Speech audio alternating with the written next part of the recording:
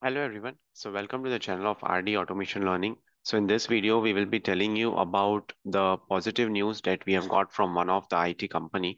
So this company is going to hire multiple people. So they are going to hire across uh, India 1000 people, right? So the company is Axtria Inc., which is planning to hire more than 1000 people annually in India for the next upcoming three years. So this is a great news and we'll be sharing these details in this video and before that if you're watching this video for the very first time then please do hit like share and subscribe our channel so um, Axtria is actually a company which is based uh, on work that it does is related to software development, data engineering, data science roles. So they hire freshers as well as experience. So last year also they had hired nearly 700 people right so it is a company based out of usa so it's uh, one of the company which is planning to hire more than 1000 people in india over the next three years. So this was confirmed uh, in the times of india in the economic times also by the president and ceo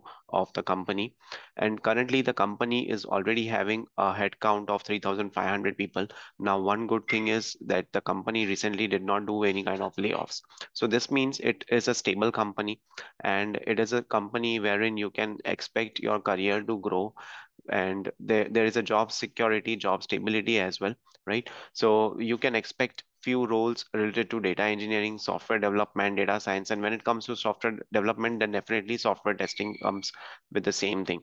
So if they are going to hire people who are going to help them with uh, developing the software then definitely they would need people to test that software as well.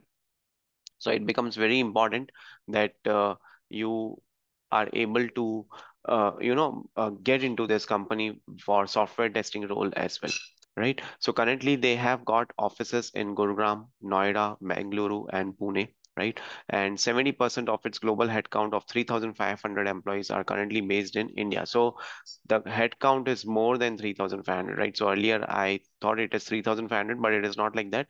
So it is 70% of 3000 uh, of its global headcount. So that is 3500 so still 30% more employees they have which are based which are working outside india right? So this is a very positive news that we have got especially when the time when the layoffs and the cost cutting is happening. So axtria is a company who will be doing mass hiring and you can expect multiple roles right? So uh, thank you so much for this video. That's it uh, for this video and stay tuned for more updates. Thank you